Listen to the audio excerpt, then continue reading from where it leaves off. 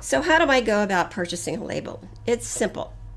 For this video, under Quilt Story Label Designs, click on Gift Quilt Labels. Here you see a list of the 11 categories of available Quilt Story labels. Click on your category of interest, such as birthdays for her, and scroll to find the label you wish to purchase. Click on Purchase this label. You will be directed to our store where you can choose the label's orientation, either landscape or portrait. Personalize your label by filling in the six white boxes.